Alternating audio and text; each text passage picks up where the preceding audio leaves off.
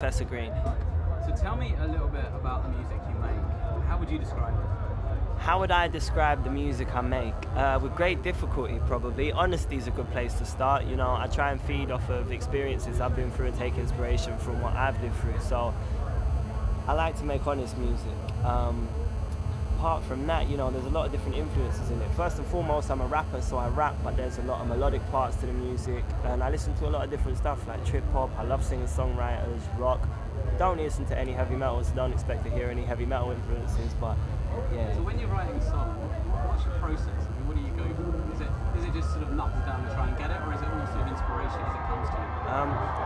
When I write a song, it's the, the process changes all the time. You know, sometimes I'll just be whistling and I'll come up with a melody, which is where I'll start. Other times I'll think of a phrase and I'll get the words, and that's where I'll start. Other times I'll get sent a beat from a producer and I'll just work around that, so it changes every time. You just come off stage at Jersey Live. That was quite a reaction on that. How was that for you? It was absolutely mental coming off stage from that. Uh, I've never been here before. I'm quite hot and bothered, as you can probably tell. I'm not looking my normal self.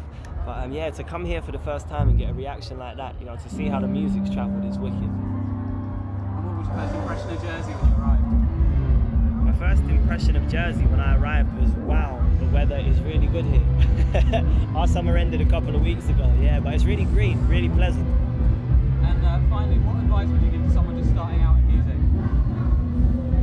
Advice would I give to someone starting out in music? Best advice would be be prepared to work hard, and then when you start getting somewhere, be prepared to work a whole lot harder. It's not an easy industry, don't be fooled. But yeah.